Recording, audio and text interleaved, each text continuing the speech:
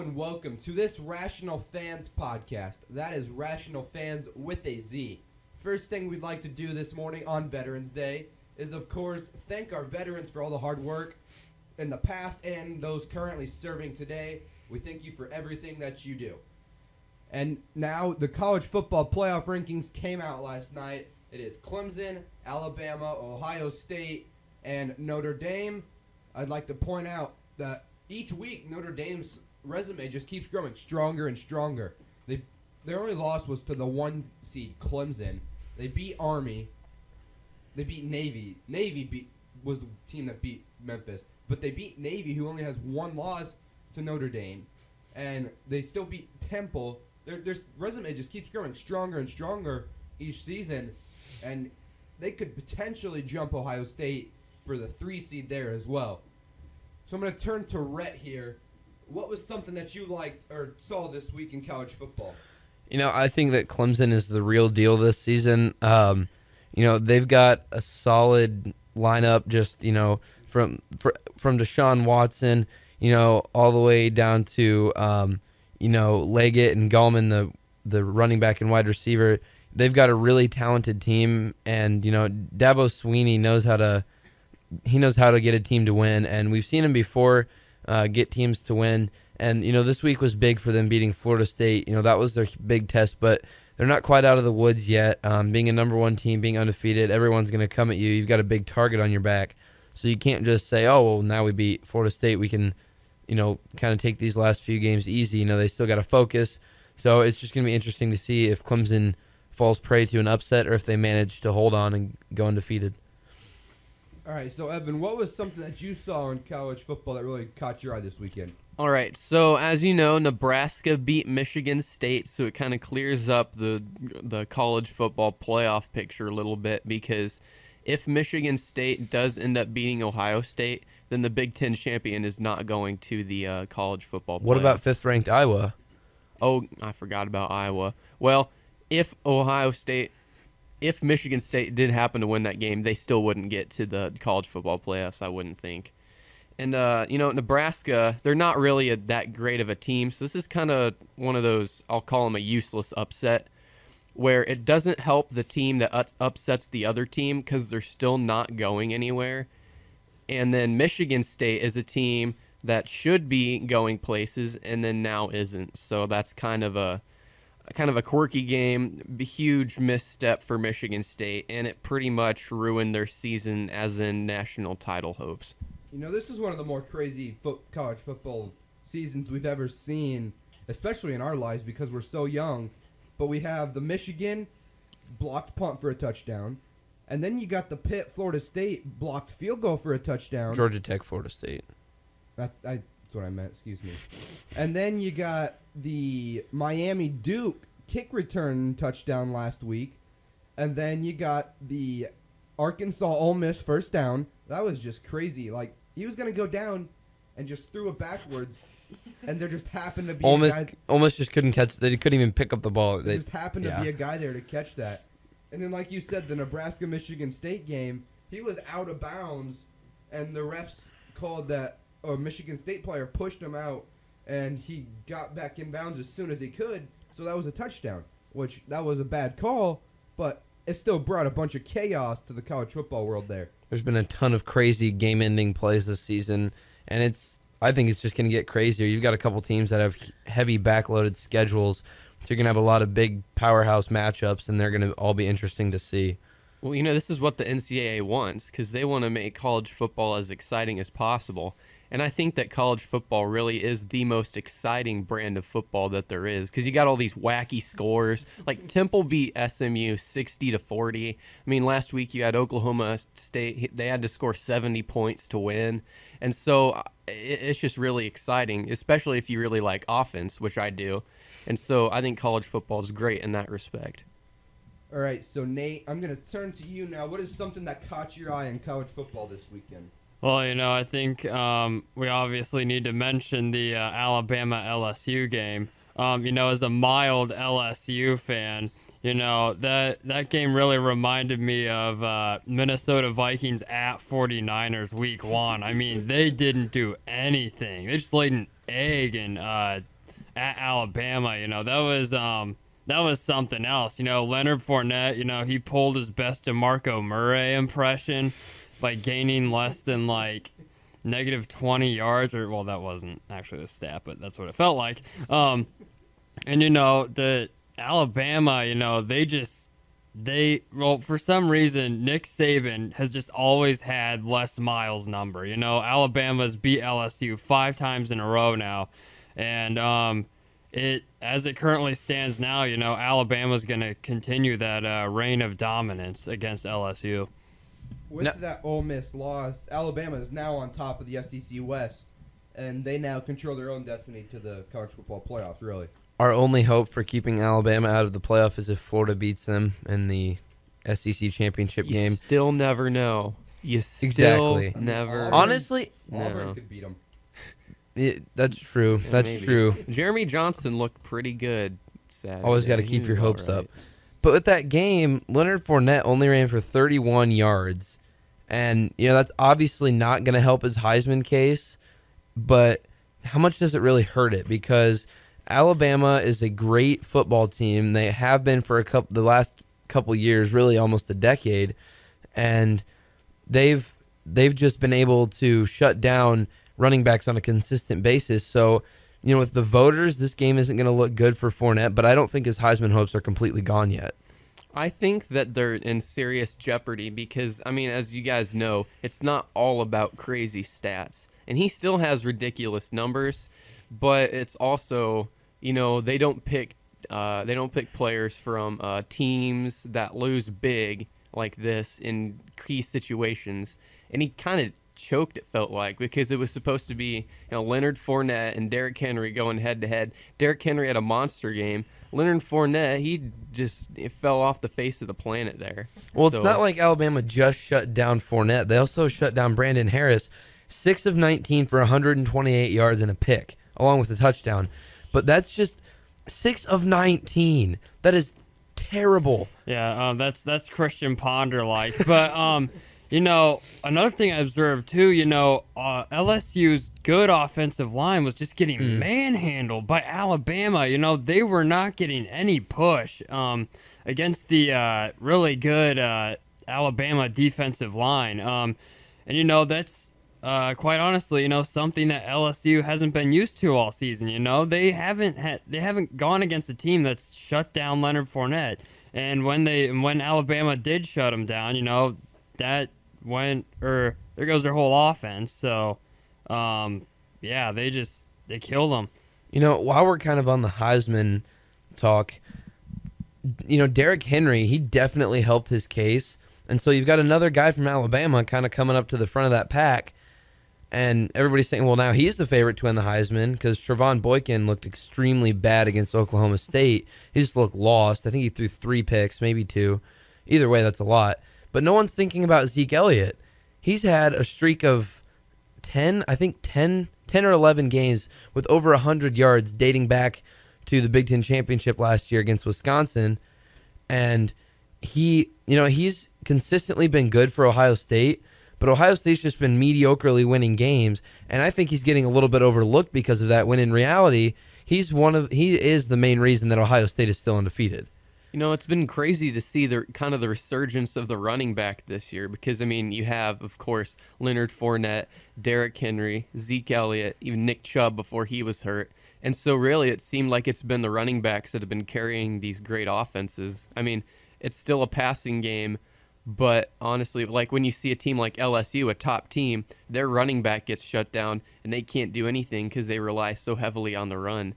And so it's just kind of been a resurgence of the rum game, and it's kind of cool to see. Well, it's definitely not going to be a quarterback that No. wins the Heisman this year, and that's honestly is a welcome thing for me because you know quarterbacks they touch the ball every play, so they have the ability to make or break a game every time that they are on the field.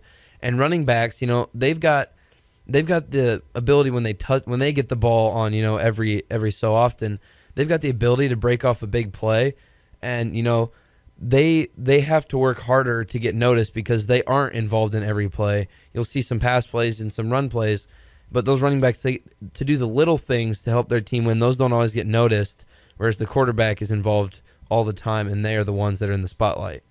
You know, one really, you know, who you know who a beast is? Corey Coleman from Baylor. I mean, he had a monster game this past week. And he like even with a backup quarterback in, he still put up over 200 yards and two TDs. Like did you see that like that touchdown that he caught when he got Mm. like WWE slammed to the ground? I mean, that I was that was the game winner. Yeah, uh, it was. He had a monster game. He's probably me- for me top three in the Heisman right now, along with Derrick Henry and Zeke Elliott. You know, I would have put um, oh Josh Doctson up there too. He's, but you know, he got hurt against Oklahoma State, so he was out for most of that game. But you know, he is he's such a dynamic player, and he's just so big and so fast and so strong that he, you know, you can't help but throw to him. And he's one of those guys that you've always got to account for. And you know, he's almost like he's almost like a Calvin Johnson. No matter how many guys you put on him, he's going to find a way to catch the ball.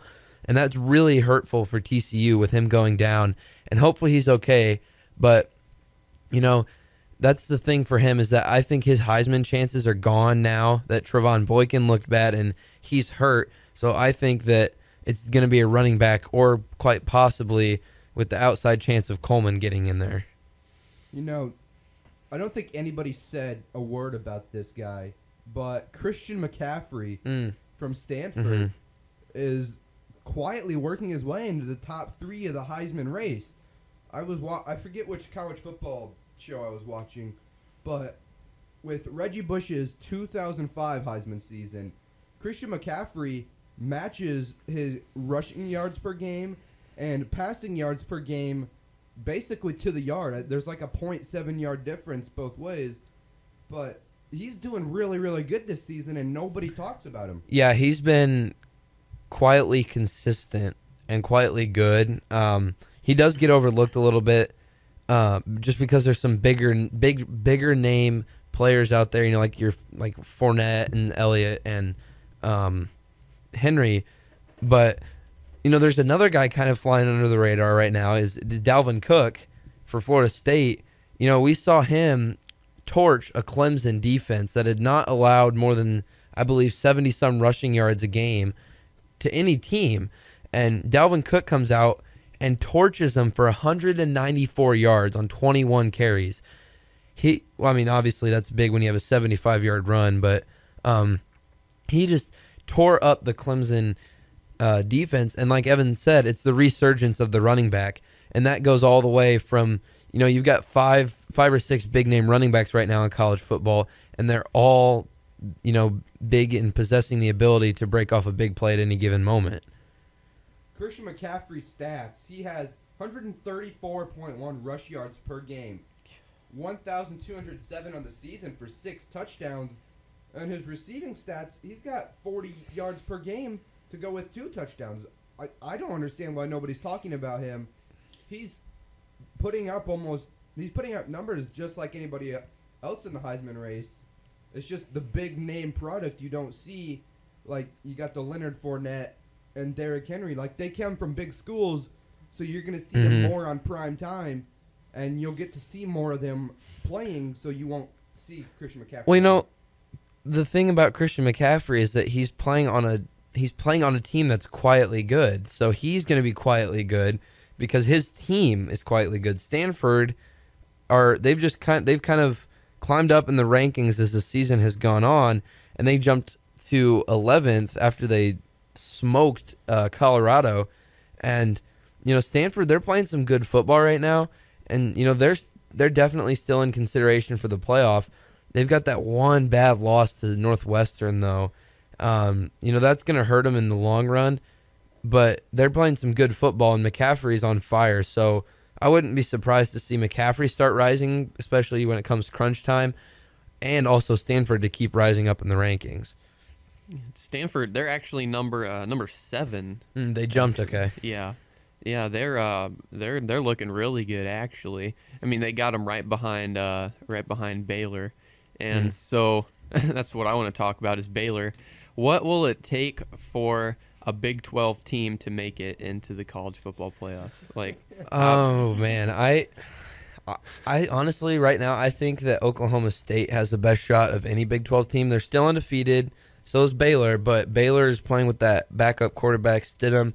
He didn't look terrible. He threw for more yards than Seth Russell had thrown in a game, 425. Right, but the offense, you know, they didn't put up as many points, and they they just kind of looked, eh, is I guess is the best way to say it.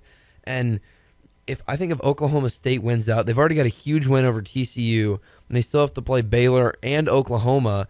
Those two those two teams are are ranked pretty high still, and I think honestly Oklahoma State has the best chance if they win out and outright win the Big 12 title and convincingly beat Baylor and Oklahoma. I think they have the best shot of anybody.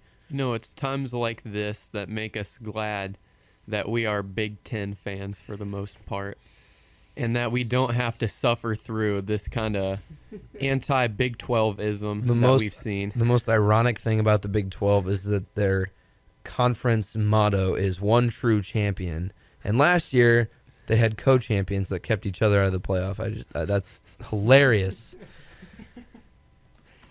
So are we gonna turn to our game of the week this week? Is anybody got anything else to add? All right, so Rhett, I'm gonna turn to you first. What is a big game for you this upcoming week? Um, you know, it's getting crunch time for teams, so there's just starting to be a lot more games this week that are more important. Um, you know, Florida State they got to go through a six and three NC State team that's kind of been, eh. So you know, uh, Florida State they with that loss to Clemson lost their chance to play in the ACC championship.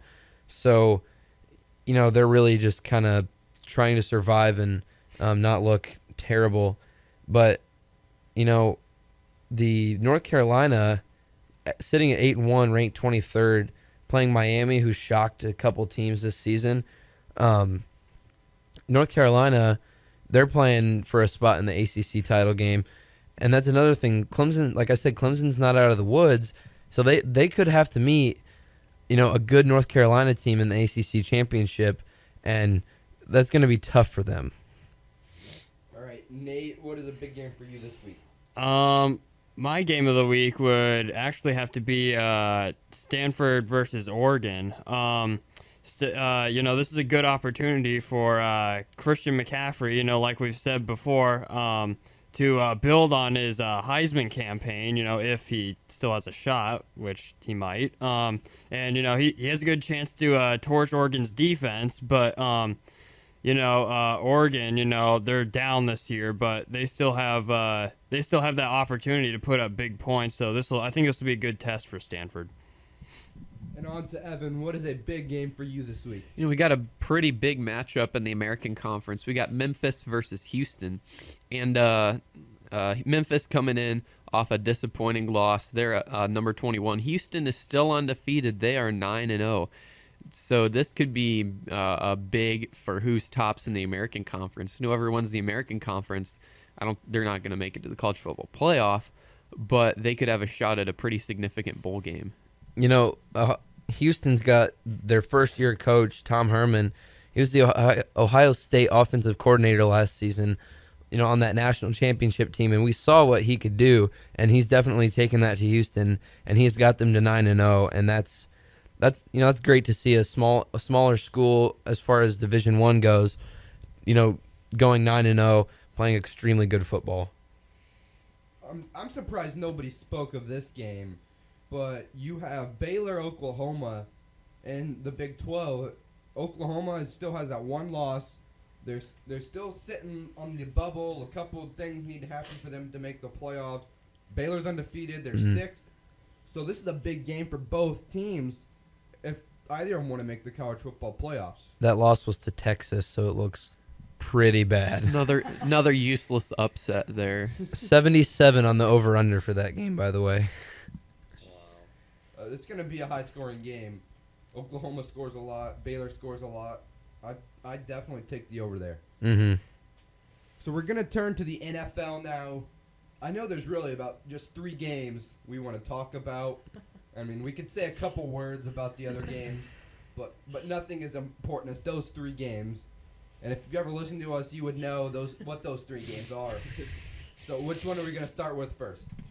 Well, you know, Mason, I'm gonna take it from you. I'm gonna take the uh, Panthers Packers game um, this past weekend. Um, I'm I'm gonna call the Panthers legit now. Um, you know they they uh they, for the most part they smothered the Packers. Um, you know they, late in that they game, yeah, yeah. yeah they did, but you know hey that's why you build the uh, big 37 point lead, so you don't necessarily have to worry too much about it. But um, yeah, the uh, Panthers uh, defense came up clutch in the end, and uh, they uh, the Packers weren't able to force overtime. And uh, you know, for the most part, you know, the Packers they they look like they struggled again, and um, uh, you know, the uh, we'll we'll have to see what they do going forward. But yeah, the Panthers look great. The Panthers really got their passing game open in that Mm. game. You, you saw a lot of deep bombs. Cam Newton throwing deep bombs to Devin Fu- Funchess, and then Corey Brown and Ted Ginn Jr. All 3 of those had a 50-yard catch, I think. And then Greg Olsen was Greg Olsen again. He's definitely having a Pro Bowl season there at, at the tight end position. You know, kind of in in conjunction with that game, the Vikings Rams game, Vikings pulled it out in overtime. Um, you know, with that field goal from Blair Walsh, and that puts them in a tie for first in the NFC North. And I don't know when the last time that happened was, but it's kind of it's. I've said this so many times on this podcast. The Vikings have arrived, and at this point, I wouldn't I wouldn't be a sure I wouldn't place a sure bet on the Packers to win the NFC North. The Vikings are a horrible Monday night football loss to the 49ers away from taking a 7 and 1 lead and controlling the division. And if Teddy Bridgewater didn't fumble on that last drive against the Broncos, they're oh. 8 0. Well, yeah, you know, with that Broncos game, you know, I, I think there were plenty of other mistakes that were made, but um, you know, their offensive line didn't hold up very well. But um, yeah, you know, the Vikings they uh they have some pretty good tests coming up here. You know, we're we're gonna see just how legit this team is. Um, this uh this weekend they're at the Raiders, I believe. You know, it's yeah, the Raiders are up and down this year, but um, you know, Derek Carr's been on fire. Uh, and um it's it's always tough to go out and uh, play in the Bay, so that'll I think that'll be a good test for them. And then, of course, they're home against the Packers. That'll be a great matchup. Um, then they, I believe they play maybe at the Falcons, and they also play home against Seattle. So you know that we we got some pretty good games coming up. No, you got to be just a little bit worried about the implications of that just disgusting Mm. really hit that Teddy Mhm. Bridgewater. I mean, that made my heart sink seeing him get clobbered like that so late. And it, it just felt dirty and I yeah, you can say something, Nate. Yeah, you know, let, let me rant about that a little. So we got uh, the Rams defensive coordinator, Gregg Williams, Oh, yeah. was the Heard this uh, one before. He was basically the, um, I guess you could say, president of Bounty Gate a few years ago. Bounty Club Which- of New Orleans. Yeah, which um, screwed the Vikings over in the NFC Championship game because Brett Favre got beat up and he had no clue what he was doing, so he just started chucking. you have a legitimate gripe as a Vikings Yes, fan, I'm don't you? Yes, all Vikings fans, yes, they they hold on to grudges way too long, but we have good reasons. So anyway, Roger Goodell, he when they find out that Bounty Gate happened, you know, they kick Gregg Williams out of the league. You know, Goodell's like, "Oh, you're gone forever." But then Jeff Fisher, Rams head coach, comes along says, "Oh no, he's fine because you know I'm a good head coach and I know what I'm talking about, and no, he's he's a good coach. Bring him back in." Goodell's like, "Okay, I don't care because I'm sitting here making millions, and um, yeah, let's just bring him back into the league." So Gregg Williams comes back into the league uh, as the Rams defensive coordinator. And, you know, ever since then, you know, he's just had a dirty reputation, you know, just training, you know, he's, um, they've recorded him saying before, you know, oh, you know, go tear this guy's ACL or, you know, give this guy a concussion, you know, then we'll have a better chance to win. Like, are you kidding me? That's ridiculous. You, that's, you know, there's a fine line between, you know, playing hard defense and mm-hmm. playing dirty defense. And Gregg Williams has obviously stepped over that line. Once you've got a criminal record, you've got a criminal record, and You he know- has a criminal record. What bothers me about Gregg Williams is that his there's three G's in his name. Why is it G R E G G? Why is the extra G necessary? That's not even as important as this bounty program. He just has a weird name. anyway, I want to talk about. You mentioned Derek Carr was on fire. That uh, that Steelers Raiders game that was a Oh, barn yeah. burner. Watching that, seeing them come back, it was uh, thirty-five to twenty-one. How Then did they- the Steelers win with have- Landry Jones? I don't know. I well, because Antonio Brown Oh, had yeah, three hundred thousand receiving yards. I mean, that was a that was an entertaining game to watch. Mhm. I mean, yeah, the Raiders lost, but you know they put up big numbers on offense. Their defense, it's still a little bit questionable. They gave up some big plays to Landry Jones late in the game, which kind of cost them the game. Derek Carr threw some untimely interceptions there at the end. But even still, this is still a really good Raiders team that I think any team should be afraid of playing. Landry, excuse me, Derek Carr only threw one interception. He threw a untimely interception. So just take off that S off of that interception. My bad. You know, a big game that I'm surprised Evan didn't mention was Broncos Colts. I was getting to it. Okay, all right. The Colts, I di- you know up until yesterday, I didn't think we are gonna have the Colts suck segment, but I think we have to now that Andrew Luck's out. So go ahead, Evan. Don't mind if I do. All right. So the day after the biggest win of the year for the Colts, an impressive win against a team that's not in the AFC South, Andrew Luck has his best game of the season by far. Mhm. No turnovers. Frank Gore had a good game. Uh, Chud, you know, he said he was going to rely on Frank Gore, and he kind of did, especially in the first half. Frank Gore had some really good runs. And then their defense had a great first half. Yeah, Their had- offensive line actually didn't look like a bunch of ragtag dudes. No, They looked decent. They- well, I mean, their interior line especially has really improved, and uh, you know they had that punt return at the end of the Mm. first half, but even still, they came back. Andrew Luck threw that touchdown pass to Ahmad Bradshaw, and Adam Vinatieri never misses. He's like The ageless he's wonder. The ageless wonder, even though he's like forty-five. 43. Yeah. And then so we get we have this huge win. We're going into the bye week. We're, We're feeling good, Yep, yeah. Chuck Pagano's not going to get fired in the bye week this time. And we're all thinking, you know what? Maybe the Colts season is saved. And then we get the worst news possible. you know, Andrew Luck with the lacerated spl- uh, Kidney. spleen, kidney, torn abdominal, out two to six weeks. No, no. Hopefully no. it's only two. Why? Why, Andrew? You know, the play after he got hurt, he threw the touchdown pass to Ahmad Bradshaw. Put him in a wheelchair and send him on the field. I don't care.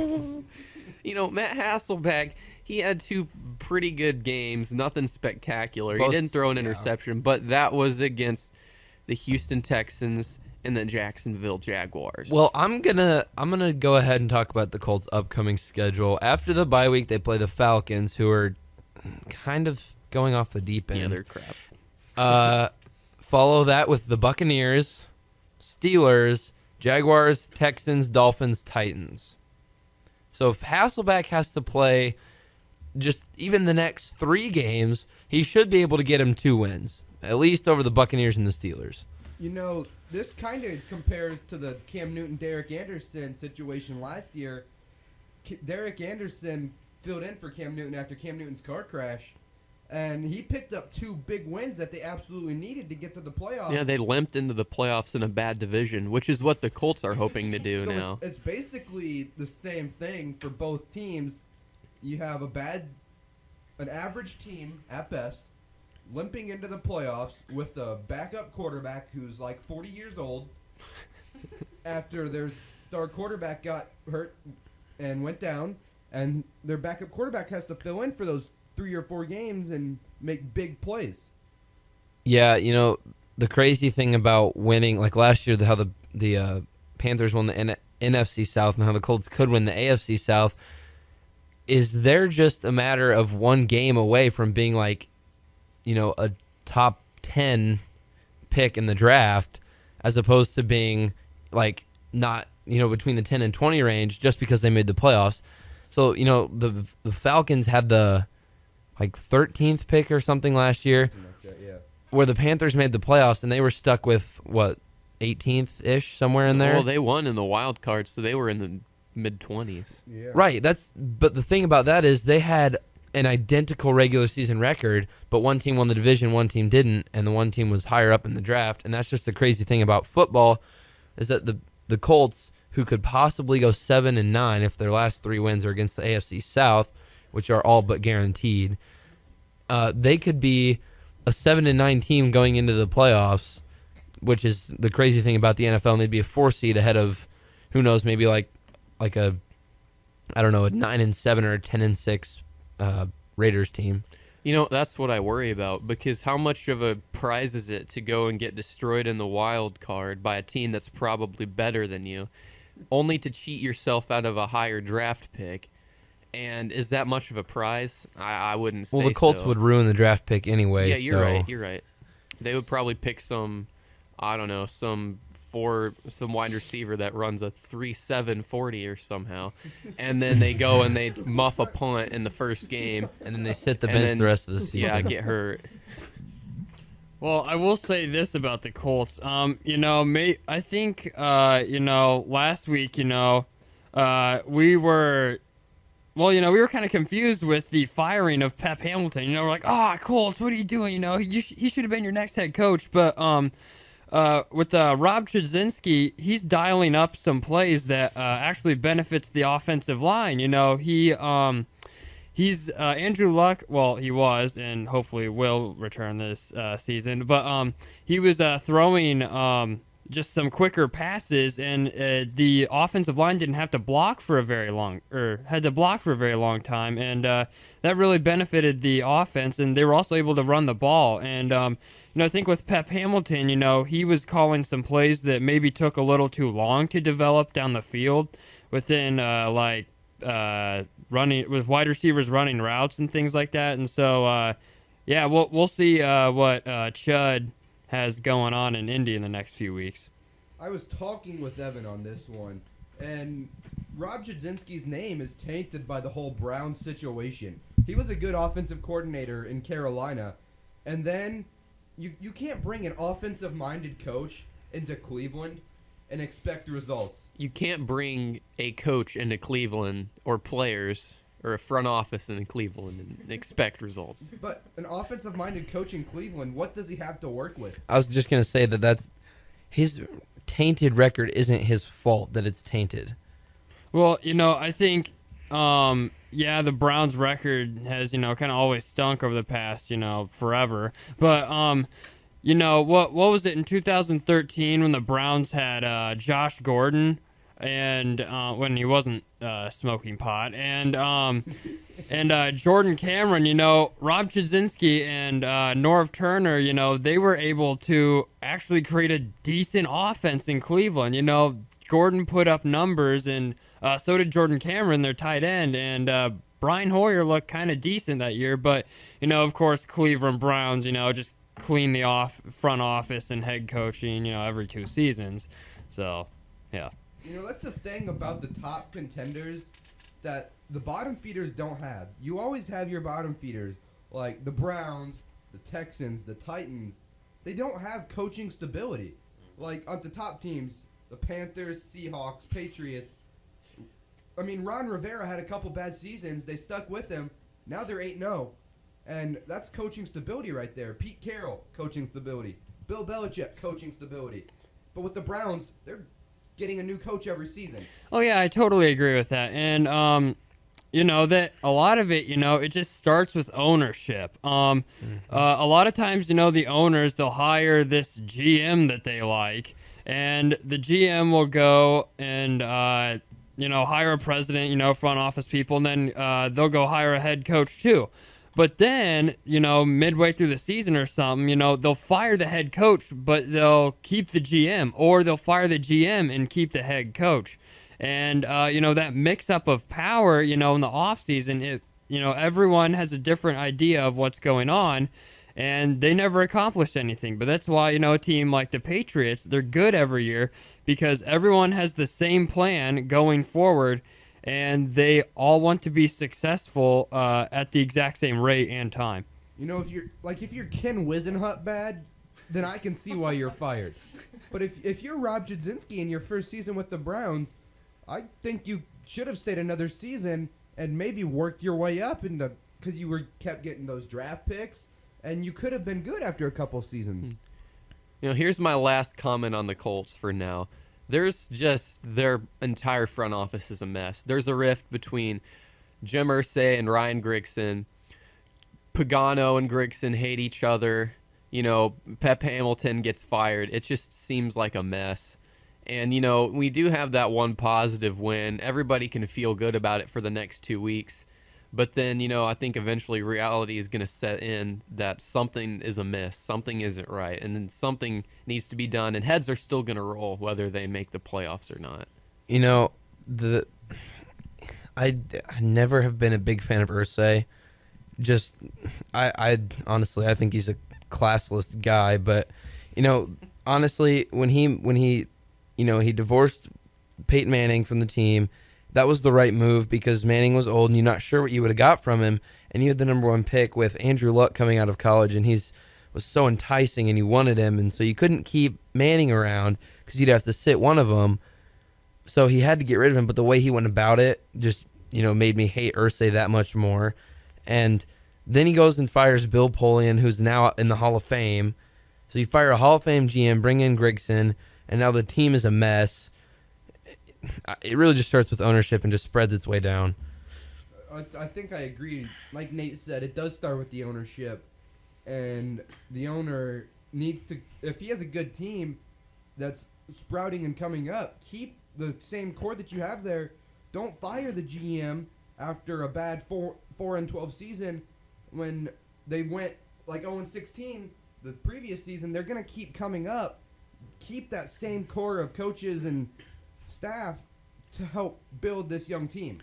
Well, the NFL goes in cycles. You've got teams that are, well, at least for the most part, it goes in cycles. You've got teams that are kind of mediocre to bad at one year, and then a couple years later, they're towards the top of the NFL, and that just comes through development and draft picks. And then you've got teams like the Patriots who never are bad, which, yeah, let's not talk about that. It's all because of Tom Brady. It is, right. Sure once he leaves, Right. But then you've got your teams, you know, kind of like like the Raiders. They've been so bad for so long, but now they've got some younger guys that are that have that are starting to develop. You know, Derek Carr, Amari Cooper, Khalil Mack on the defense. Those teams are starting to become better, and that's just the way the NFL goes. It just goes in cycles.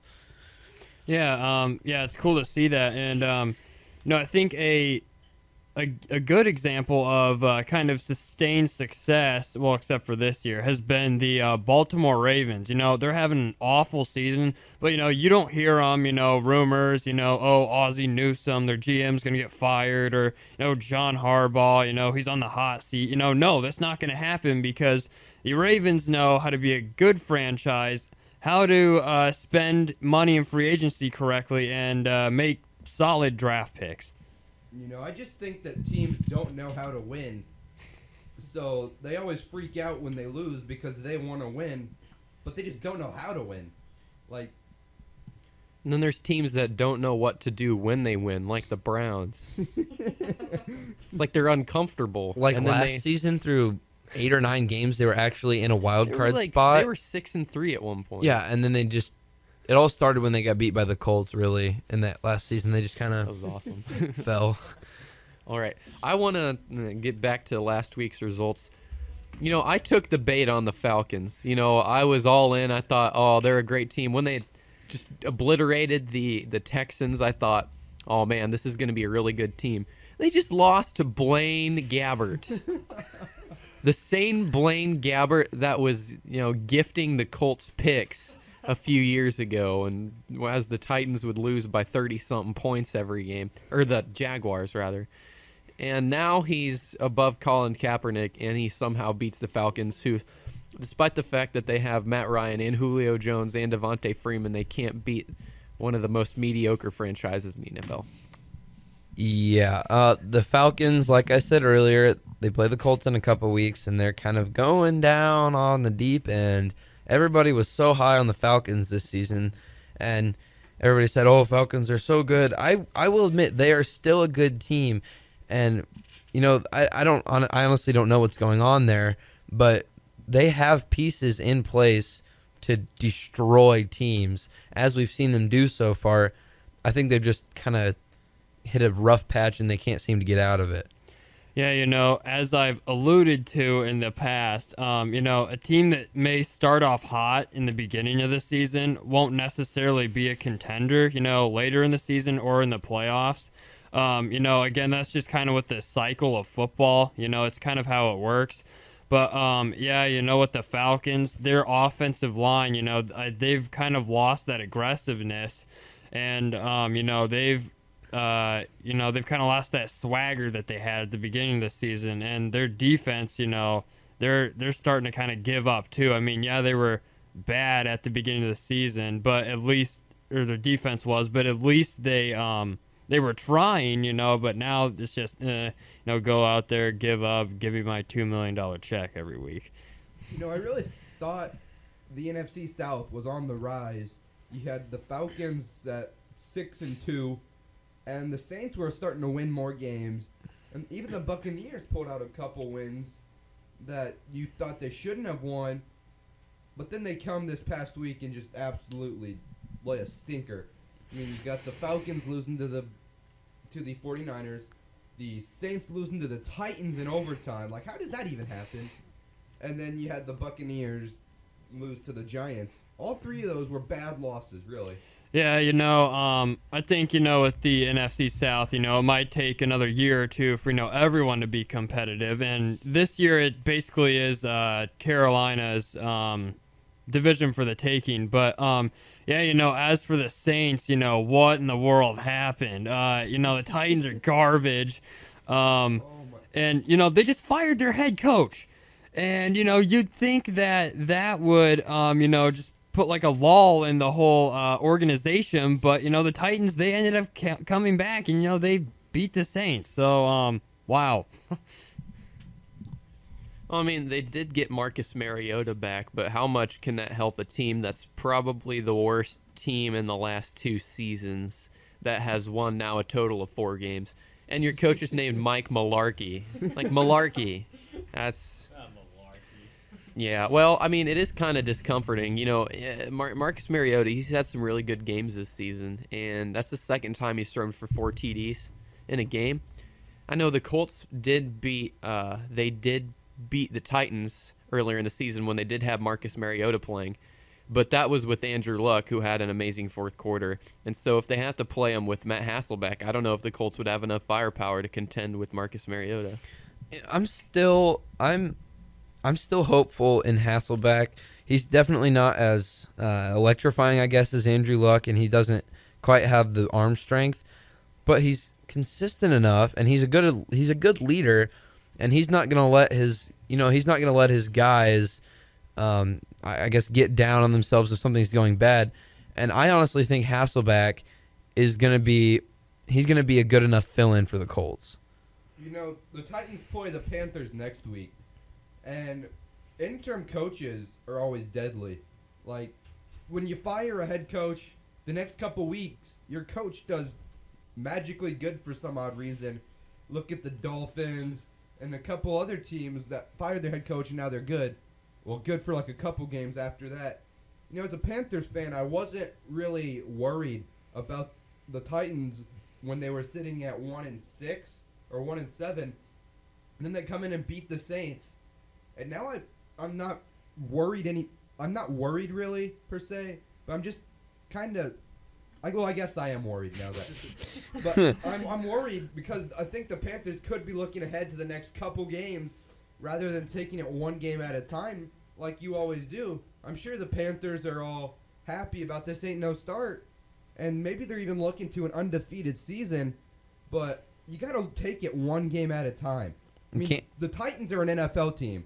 So they still have NFL quality players, but you, you just got to take it one game at a time, really. You know, I remember a, a few years ago the Chiefs started 8 0, mm-hmm. and we all thought, you know, their defense is great. They're going to be such a great team. Finished like 11 and 5, and then they go and they get up on Indy. Then they mm. collapse in the wild card. And so hopefully that's not what we see out of the Panthers. It's possible, but I think that they're a better team. Yeah, that's the biggest downfall of a lot of good football teams is overlooking an opponent that's not that doesn't look good on first glance. Like you know, with the Titans, you can't.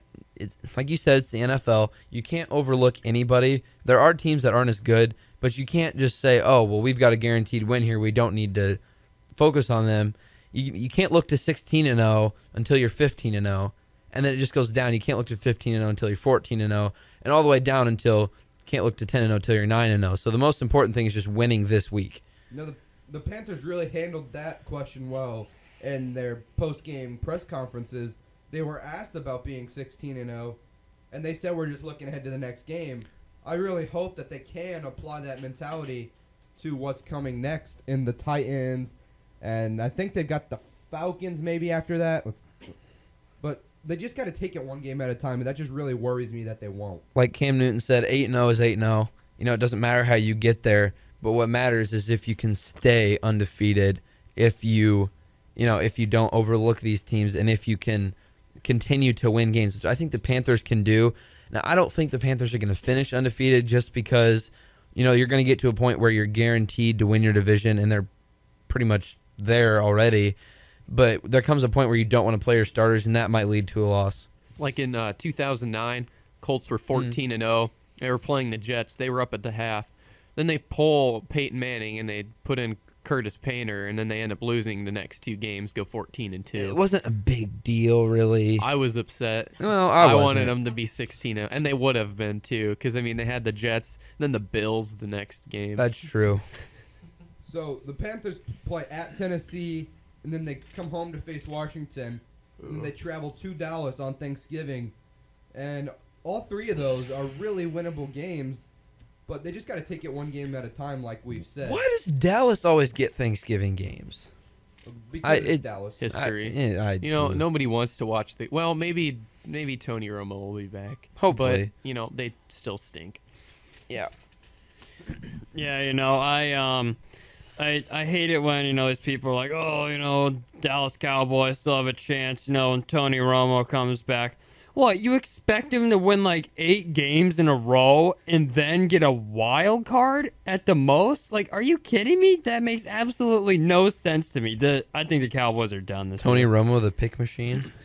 Yeah, exactly. But um anyway, looking ahead Yeah, I was just to this week, um my game of the week would probably have to be um Patriots Giants. Um, you know, they have a history there. Um, you know, Yeah. unfortunately for the Patriots. Eli Manning has Tom Brady's number in the He- playoffs. Yeah, he really does. Um, and uh, yeah, you know the Giants. You know they're they're known for uh, pulling that upset. So you know we'll we'll see what happens uh, with the Patriots. But yeah, that'll be a really interesting game. Eli hasn't been terrible this year. 2,339 yards, 19 touchdowns, six picks.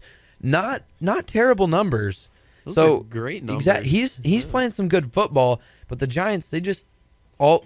I feel like it's always been that way for the Giants. Manning plays well, but nobody else does. Well, both years when they won when they won Super Bowl 42 and then Super Bowl 47, I think they were 10 and 6 both years. Mhm. And they would start out like 5 and 4, then they would get hot, win some road games, then work magic in the playoffs, which is something that the Giants are always capable of. I mean, when you have Eli Manning, he's capable of great things and he's capable of terrible things. You know, he's the baby brother of Peyton, so everybody expects him to be great. And he's a better playoff quarterback than his Oh, older ab- brother. Absolutely. He has but I think his brother's a better regular season quarterback. So it's kind of it's actually kind of interesting that they f- like they flip when it comes playoff time. But anyway, my game of the week, I'm gonna go with the Sunday night game, Seahawks Cardinals. Cardinals six and two, Seahawks four and four. Only two games separate those teams. So if the Seattle Seahawks can pull this one out, they're a game closer to the Cardinals in the NFC West out there. That's just a huge matchup as far as winner of the NFC West goes because we I feel like the Seahawks always do this. They start mediocre and then they catch fire and then manage to get to the Super Bowl. You know, I don't think they're as good a team this year as they were last year, and um, so I think this is going to be a really pivotal game for them if they want to keep their playoff hopes alive and not dip below 500. You know, Seahawks fans are all happy and glad they're four and four after starting two and four. Yep. But those wins came against the Chicago Bears, the Detroit Lions, San Francisco 49ers, and the Dallas Cowboys without Tony Romo. Legion's back, baby. The Oh Legion yeah. of Boom. all, all four of those are, re- are just bad wins, really. Like Mhm. none of those teams are any good, so I wouldn't be happy you're four and four. You know, it's really kind of almost almost surprising, but at the same time not to see Carson Palmer putting up the numbers that he's putting up. Over 2,000 yards passing already, 20 touchdowns, and it the Cardinals somehow they are always at best when they have a, an old quarterback. With Kurt Warner, he took him to a Super Bowl and almost won them a Super Bowl. I still don't think that he Santonio Holmes got his feet in bounds, but whatever. Um, you know, they find a way to win with old quarterbacks, and the Cardinals' formula for success has been riding the old guys: Palmer, Johnson, and Fitzgerald. All of them are they're not they're not old by as far as human lifespan goes, but by the lifespan of a player in the NFL, they are old. But they found a way to win, and that's something I've enjoyed seeing this year is that the Cardinals have been able to ha- put together a good team centered around a, an aged and experienced group of pe- of men. All right, we got a few minutes here. The game that I'm looking forward to most is Vikings Raiders. Mm-hmm. Because, you know, the Vikings are really going to have to rely on their defense in this game because I don't think they have quite the passing game to keep to keep up with Derek Carr and the Raiders. I know Teddy Bridgewater is capable of making some great throws, but you know, the formula for them has been defense and Adrian Peterson who's leading the league in rushing. And so if the Vikings can stop the Raiders on defense, then they're going to win this game because you know Adrian Peterson, he's going to have he's going to be steady all season. And so you just that that one uh, variable that you don't know is how great is the passing game going to be for him. You know, you guys really took all of my key games this week, so I'm I'm not even gonna say a key game. Although I do want to talk a couple minutes about college basketball. That starts Friday night, I believe. You got the big 24-hour tip-off marathon. That's quite possibly the greatest tip-off marathon in the sports world. So Evan, I know you like IU. So what what is something we can expect this season in college basketball? All right, so Indiana, that's kind of really the only team that I know a whole lot about. They have maybe the best backcourt, top five backcourt in the NCAA. I mean, James Blackmon Jr. and Yogi Ferrell. I mean, they can shoot the lights out, and they are lightning fast. They are great at facilitating an offense, and just the three point shooting on Indiana, it's just through the roof.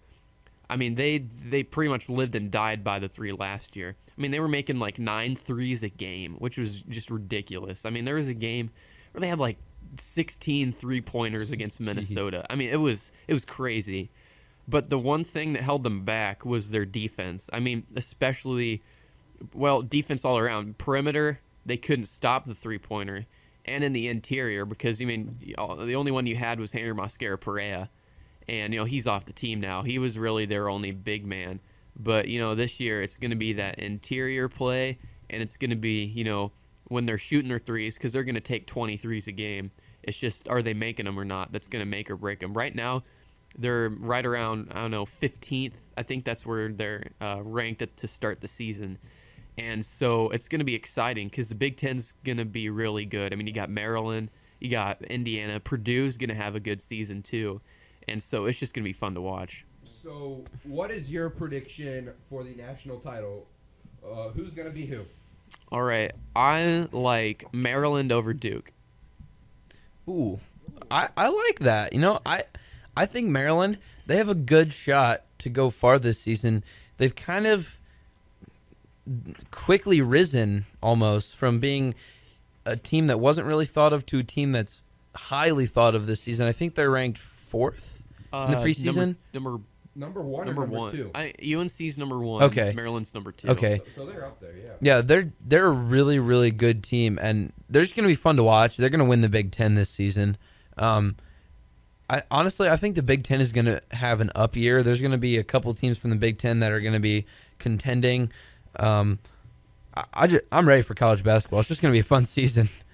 College basketball is by far and wide my favorite sport to watch and look at. So, uh, I'm I'm just really excited that it's coming back.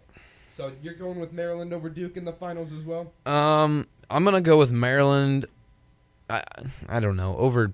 I'm gonna go with the Cinderella team. So not Duke, not North Carolina, not a team that's highly ranked right now. I'm gonna go with Maryland over a Cinderella. I don't know who, but somebody. You know, I picked Duke because no matter where they start the season, they always. It's you know, Coach always, K. Yeah, I mean, he just works He's his magic. And he- they do awesome. Literally a legend. Unless they lose to like a 15 seed again. Then that, I- that'd be bad. All right, so I know Nate doesn't watch college basketball enough, so I'm not sure if he wants to make a prediction here or if he'll just. I have a prediction. LSU basketball.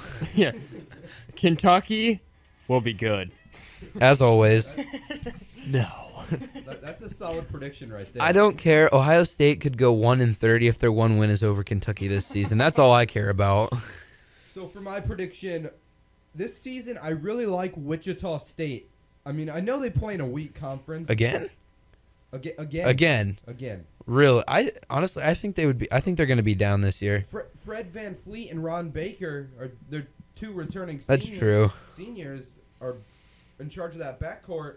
They should be really good this season. I, I think on my college basketball preview, I had them in the top five, maybe. You know, the great thing about college basketball, it's not like college football where if you're in a weaker division, you have no shot at the title. Yep. Because even if, you know, Wichita State has some unfortunate losses, they end up like a six seed, they can still go all the way. I mean, you never know who's going to win it. And so that's what that's what make it makes it so exciting. That's why And- football needs a sixty four team playoff. Plus, I mean, you have the FBS and you have all of these Fs. Uh, Mhm. Well, I guess teams that are in the FBS in football, and then you throw in teams that are in the FCS in football too, like Creighton, who who's been good in recent years. I don't think they'll be good this year, but they were a team that people were watching, and you just get all of these teams like St. Louis, Detroit, that you know they they go they get thrown into the mix. Florida Gulf Coast that you've never heard of before, and they surprise people. You so. know- That's what because we don't. Somebody's gonna surprise us, and we don't know who it is. The Big Dance is the best tournament in the entire sports world. Yep. 64 teams vying for one title. Actually, 68 because they got playing games. Yeah. Any one of those 68 teams could win. You know, we've never seen a 16 team upset a one seed. It's I honestly I think it's going to happen in our lifetime. I I think it will. That's just the way college basketball is, and I just I love college basketball. Yeah, it's great. You know, some people they don't watch till March, but I'm one of those guys that you know follows Indiana Yeah. all year, follows the Big 10 Mhm. You know, it's hard to keep track of who plays for who sometimes because you have all these freshmen coming in. But even still, i i it's just it's fun to watch. I love it. I love college sports in general. So my prediction is North Carolina over Wichita State. Homer pick. I, I have no idea what you're talking about there. All right, Mister All Over the Map. That is the end of our show. Thank you for tuning in to, to this week's edition of the Rational Fanz Podcast.